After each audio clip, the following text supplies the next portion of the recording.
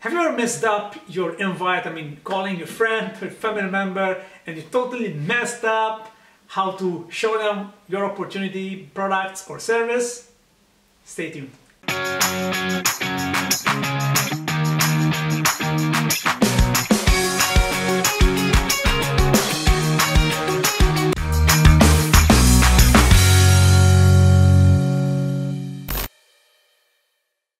Hi there, Gordon Attard here. Welcome to this video. If you haven't subscribed yet to my YouTube channel, make sure you do that and also click on the notifications um, button, okay, bell, right? So, in this video, we're gonna talk about the apology approach. What is the apology approach? I know that uh, if you haven't, uh, start, if you have started quite a few uh, months ago or maybe years ago, you messed up in the beginning. Like everybody does that, right? When you try to invite your friend or your family member, you started to explaining over the phone rather than just inviting, like your sponsor maybe or your upline told you didn't you? So if you uh, if you have passed through that experience, I know that uh, that you will resemble in this, and let me know in the comments below if you did mess up your uh, your invite with a friend or maybe family member. So in this video, we're gonna talk about uh, what is the apology approach. How can you recall them? How can you re-inviting them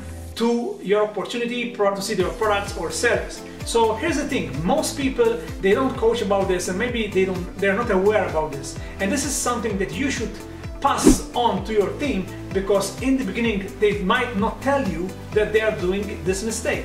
They just tell them, ah, he's not interested, ah, he didn't um, uh, even respond back. It's because they try to explain over the phone, which we know, okay, which we know that uh, is nothing. It's, it's something that you shouldn't absolutely do. Okay, so what is why it is important? How you do it basically. How you gonna do this apology approach? So you can do it for invite to see so they can see the, the, the information about your company about your uh, products or service. And second thing i also recommend this you can use it when you are at events okay? You can you, do, use it at, at, at events major thing and you can do it also to invite them to an event.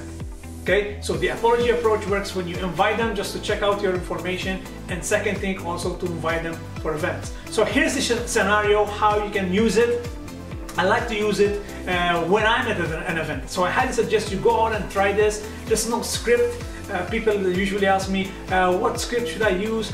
Really, is just go with the feel. And the reason why I use it on in an, in an event of, of my company is because it works and it's because of the energy that you will have during an event. So if you have already been to an event, your company event, you know that there's music, there's a lot of people, there's excitement, there's energy. So this is what you should do during the breaks. Don't use the breaks to uh, I don't know chit chat with the with the girls girls or or women if you're watching you're a woman with men okay there's nothing wrong with that but it's business okay use the event maximize the event okay so here's how, what I do so I call them there's music uh, I don't go out, okay, so rule number one, do not go out like in a quiet place so you can hear everything. It's not about that, guys, it's all about the energy. So your posture needs to be um, uh, to, to the maximum, right? So call them, okay, call them up during in, inside the arena, inside the stadium, whatever it is, inside the hall, hotel room, whatever it is, and you just tell them, hey John, listen, do you remember? I, I, need to apologize. First of all, I need to apologize because do you remember I showed you what I'm doing right now, the project that I'm working on uh, a month ago or weeks ago? I'm sorry. Okay, I'm sorry for messing, messing it up. I didn't show you the right way. If you could give me one more chance, okay, when can we get for lunch? When can we get a coffee together? And I can bring up someone with me okay? Or I can get someone, if, if someone is helping you, okay, on the other side, who's gonna show you the right way, okay? Let me get back, okay? Let me get back from the event. When, when, uh, when this week you've got free, okay? When are you free this week? And you lock in the spot for the uh, appointment. If they are your friends, if they are some, some of them are family members, they will give you, okay? They will sympathize with you because what you did is you said sorry, you messed up. And there's nothing to be ashamed of if you did.